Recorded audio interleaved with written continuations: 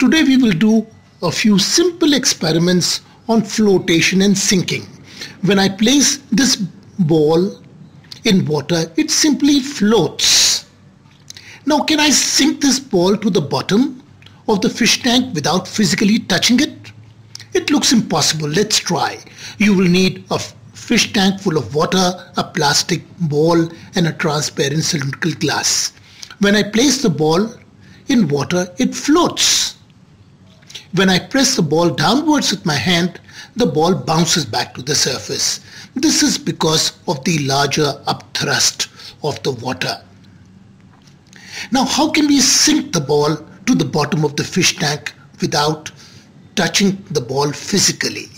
Now place the inverted glass on the ball and press the glass downwards. Slowly the ball will also go downwards along with the glass and now the ball is touching the fish tank base. On lifting the glass, the ball will rise to the surface again. Now with the help of the glass, I could make the ball float to any water height. I press the glass down with the ball. See, the ball is floating on the surface in the beginning. Now it's in the middle and now finally is at the bottom. Now we'll see this in a close-up.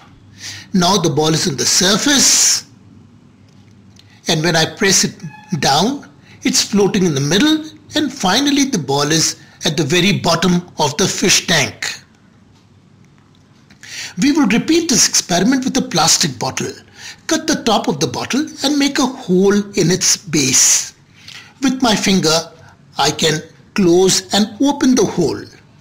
After closing the hole, I can push the ball to the fish tank base. See this. Now slowly I will open the hole. The water level in the bottle will rise and the ball will also float higher and higher. On closing the hole, the ball will float in the middle. On opening the hole completely, the ball will float to the surface of the water tank. Now I close the hole and lift the bottle above the water level.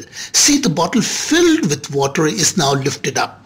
On opening the hole, the water from the bottle will drain out and the ball will float on the surface.